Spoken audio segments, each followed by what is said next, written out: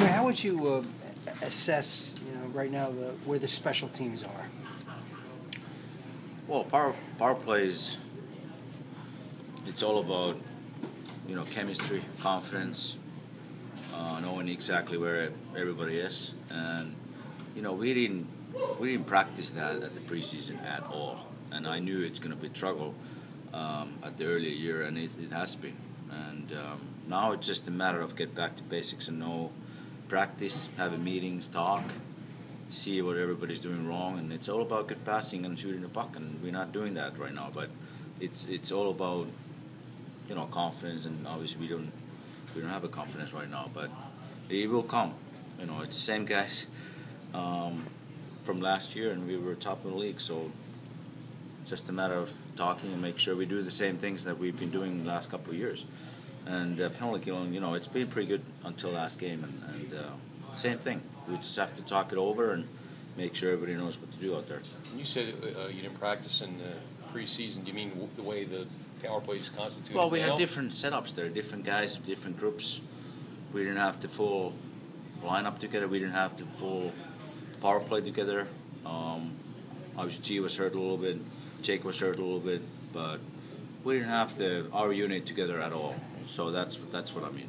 You got to be happy with the uh, five on five play lately. It seems like it's improved a lot.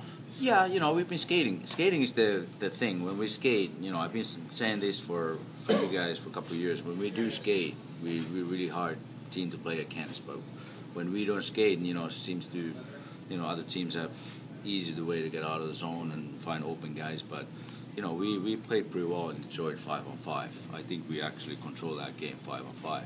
But, you know, we took seven, eight penalties and, you know,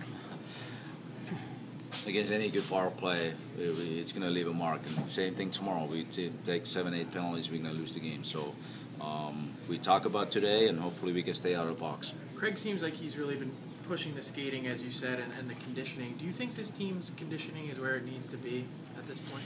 Well, it, it can always be better.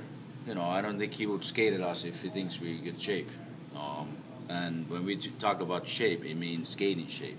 You can be in good shape, but you know, skating is a different thing than riding a bike. Um, so he, he, you know, we've been practicing pretty hard, and we've been skating at the end of the practices. So he thinks we're not in really good skating shape, and I, I totally agree. We can be better when we skate hard, and we can do that 60 minutes. We're really hard team to play against. Big difference be paired with uh, Gus. First time I think you played with him in a long time. Uh, I, I like Gus. You know, Gus is a young guy who can skate really fast, and and um, you know, I, I like playing with him. So he's he's he's pretty good with the puck, and um, but his skating ability is really good. So I like that. One of the other